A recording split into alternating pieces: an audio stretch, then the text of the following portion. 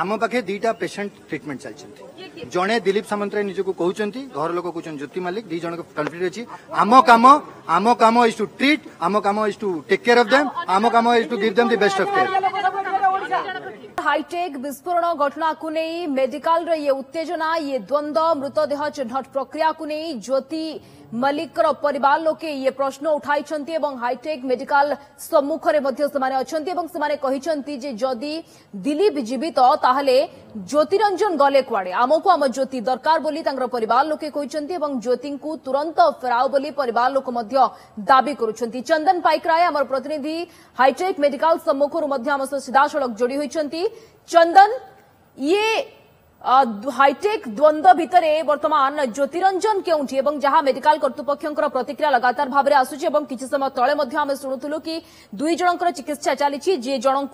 दिलीप बोली कहते जी निजक दिलीप बोली कहते आउ जे होंगे सीमांचल जहाँ हाईटेक मेडिका करतृपक्ष कहवा कथा कि या भितर ज्योतिरंजन पर भांगी पड़ते जिते से शुणी कि ज्योतिरंजन ସେ ଶୁଣିଛନ୍ତି କି ଜ୍ୟୋତିରଞ୍ଜନଙ୍କର ଯାହାକୁ ସେ ଭାବୁଥିଲେ ଜ୍ୟୋତିରଞ୍ଜନ ସିଏ ଜ୍ୟୋତିରଞ୍ଜନ ନୁହେଁ ବୋଲି। କଣ ତାଙ୍କର ପରିବାରର ଅବସ୍ଥା ବର୍ତ୍ତମାନ ଏବଂ ହସ୍ପିଟାଲରେ ବର୍ତ୍ତମାନ କେମିତି ସ୍ଥିତି ଆପଣ ଦେଖୁଛନ୍ତି ଇଏ ଯୋଉ ଦ୍ୱନ୍ଦ୍ୱ ଭିତରେ? দেখুন আমি যদি দেখা হসপিটাল পরিসর ভিতরে ইয়ে হচ্ছে স্থিতি যে হসপিটাল পরিসর ভিতরে জ্যোতি যে রয়েছেন যে যা ভাবুলে যে দিলীপ কু যে জ্যোতি বলে ভাবুলে বর্তমান সুদ্ধা যেহেতু টেকনিকালি দিলীপ যে জীবিত বলে কুহযাই না তথাপি হসপিটাল কর্তৃপক্ষ এক প্রকার সুনিশ্চিত করে সারে যে দিলীপ জীবিত এরপরে বর্তমান জ্যোতি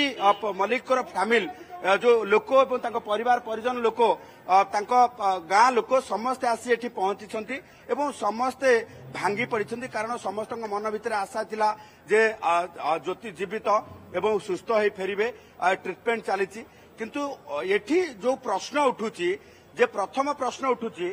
ଯେ ଯୋଉଭଳି ଭାବେ ଚାରି ଜଣଙ୍କୁ ଚିକିତ୍ସା କରାଗଲା ଚିକିତ୍ସା ସମୟରେ କଣ କଣ କଣ ପଦ୍ଧତି ଅବଲମ୍ବନ କରିଥିଲେ ଏବଂ ତାଙ୍କ ପରିବାର ଲୋକଙ୍କୁ କେତେ ସମୟ ଭେଟିବା ପାଇଁ ସୁଯୋଗ ଦିଆଯାଉଥିଲା ଏବଂ ଯେତେବେଳେ ଚାରି ଜଣ ଯାକ ଯୋଉ ଆହତ ଅବସ୍ଥାରେ ଚିକିତ୍ସା ଚିକିତ୍ସିତ ହେଉଥିଲେ ସେ ସମୟରେ ସେମାନଙ୍କର ବଡି ଏତେ ମାତ୍ରାରେ ଯଦି ଯୋଉ ରହିଛି ଜଳି ଯାଇଥିଲା ତେବେ କାହିଁକି ହସ୍ପିଟାଲ କର୍ତ୍ତୃପକ୍ଷ କହୁଥିଲେ ଯେ ସାମାନ୍ୟ ଘଟଣା ଘଟିଛି ଇଏ ସମ୍ପର୍କରେ ମଧ୍ୟ କ୍ଲାରିଫିକେସନ ଦେବାର ଆବଶ୍ୟକତା ଅଛି। କାରଣ ଇଏ ସାମାନ୍ୟ ଘଟଣା ନୁହେଁ। ଏମିତି ଭାବେ ଅ, ଘ- ଦୁର୍ଘଟଣା ଘଟିଛି ଯୋଉ ଦୁର୍ଘଟଣାରେ ବଡି ଚିହ୍ନିବା ଅ, ଗୋଟିଏ ପଟେ ସମ୍ଭବ ହୋଇପାରୁନାହିଁ ଅନ୍ୟପଟେ ଜୀବିତ ଯିଏ ଅଛନ୍ତି ଚିକିତ୍ସା ହେଉଛନ୍ତି ଚନ୍ଦନ ତାଙ୍କୁ ମଧ୍ୟ ମେଡିକାଲ ଚିହ୍ନିବା ସମ୍ଭବ କର୍ତ୍ତୃପକ୍ଷଙ୍କ ହୋଇପାରୁନାହିଁ। ତରଫରୁ ଏଭଳି ଏବେ କ୍ଷେତ୍ରରେ କୁହାଯାଉଛି ଯେ ଏତେ ମାତ୍ରାରେ ବର୍ନ ଇଞ୍ଜୁରୀ ହୋଇଥିଲା ଯେ ଚିହ୍ନିବା କଷ୍ଟକର ଥିଲା କିନ୍ତୁ ପ୍ରଥମ ଦିନର ଘଟଣା ଯେତେବେଳେ ହାଇଟେକ୍ ମେଡିକାଲରେ ଯେତେବେଳେ ବିସ୍ଫୋରଣ ଘଟିଥିଲା ସେ ସମୟର ପ୍ରତିକ୍ରିୟା ଭିନ୍ନ ଆଚ୍ଛା ହସ୍ପିଟାଲ କର୍ତ୍ତୃପକ୍ଷ ପକ୍ଷରୁ ଏବେ ସୂଚନା ଦିଆଯାଉଛି। କିନ୍ତୁ ଯେତେବେଳେ ଘଟଣା ଅଣତିରିଶ ତାରିଖରେ ଘଟିଥିଲା ସେ ସମୟରେ ହସ୍ପିଟାଲ କର୍ତ୍ତୃପକ୍ଷ କିନ୍ତୁ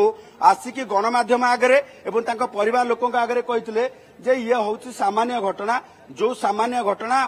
ବର୍ତ୍ତମାନ ଚିକିତ୍ସା ହଉଛି ଜଣକର ଅବସ୍ଥା ଗୁରୁତର ଅଛି। କିନ୍ତୁ ବର୍ତ୍ତମାନ ଘଟଣା ଯେତେ ଚପେଇଲେ ମଧ୍ୟ ସାମ୍ନାକୁ ଆସୁଛି ଯେ ସମସ୍ତଙ୍କ ଅବସ୍ଥା ଗୁରୁତର ଥିଲା। এবং এপরিকি সে সময় মধ্যে কিছু লোক অভিযোগ করুলে যে ঘটনা ঘটিবা পরে হি দুই জনকর মৃত্যু ঘটিলা এ কথা মধ্যে ইনকোয়ারি করা আবশ্যকতা রয়েছে কারণ এ কথা নেই হসপিটাল কর্তৃপক্ষ হুয়েত ঘটনা চপেবা গোটিয়ে ভুল কু চপেবা যেমন পরবর্তী সময় গোটিয়ে পরে গোটিয়ে ভুল হয়ে চালছে সেইভাবে ভাবে বর্তমানে ইয়ে দেখা যাচ্ছে তেমন নিহতি পক্ষে ପ୍ରତ୍ୟେକ ଘଟଣାକୁ ବର୍ତ୍ତମାନ ତଦନ୍ତ କରିବା ଆବଶ୍ୟକତା ଅଛି। କାରଣ ଏଠି ତିନି ତିନିଟି ଜୀବନର କଥା ପଡ଼ିନି। ତିନି ତିନିଟି ପରିବାରର ଯୋଉ ରହିଛି ଉଜୁଡି ଯିବା କଥା ପଡ଼ିଛି। କାରଣ ଯଦି ଦେଖିବା ଯେ ଦିଲ୍ଲୀପଙ୍କର ପରିବାର ମଧ୍ୟ ଉଜୁଡି ଯାଇଛି। ତାଙ୍କ ସ୍ତ୍ରୀ ଆତ୍ମହତ୍ୟା କରିସାରିଛନ୍ତି। ଯିଏ ବର୍ତ୍ତମାନ ନିଜକୁ କହୁଛନ୍ତି ଦିଲ୍ଲୀପ ଏବଂ ସେ ଜୀବିତ ବୋଲି। ଏପଟେ ଯଦି ଦେଖିବା ଯେ ଜ୍ୟୋତିଙ୍କ ପରିବାର ଲୋକେ ବର୍ତ୍ତମାନ ତାଙ୍କର ଶେଷ କୃତ୍ୟ ସମ୍ପନ୍ନ କରିବା ପାଇଁ ମଧ୍ୟ କୌଣସି ପ୍ରକାର ସୁଯୋଗ ପାଇଲେ ନାହିଁ। କାରଣ ତାଙ୍କ ଘର ଲୋକ ଏବେ ବି ଭାବୁଥିଲେ ଯେ ଜ୍ୟୋତି ଜୀବିତ ବୋଲି। ତେଣୁ ଏଭଳି କ୍ଷେତ୍ରରେ ହସ୍ପିଟାଲ କର୍ତ୍ତୃପକ୍ଷ ହୁଅନ୍ତୁ ପୋଲିସର ଇନକ୍ୱାରି ପାର୍ଟ କଥା କୁହାଯାଉ ଏବଂ ଚିକିତ୍ସା ପଦ୍ଧତି ଭିତରେ ଯଦି ଆମେ ଦେଖିବା ଯେ କିଏ ମୃତ୍ୟୁ କିଏ ମୃତ୍ୟୁ ବୋଲିକି ବର୍ତ୍ତମାନ ଯେହେତୁ ଜଣାପଡ଼ି ନାହିଁ ଯୋଉ ଦୁଇ ଜଣ ମୃତ୍ୟୁବରଣ କରିଛନ୍ତି ତାର ସବିଶେଷ